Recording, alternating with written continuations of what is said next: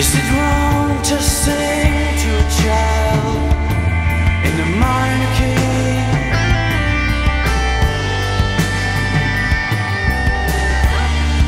Was she loved?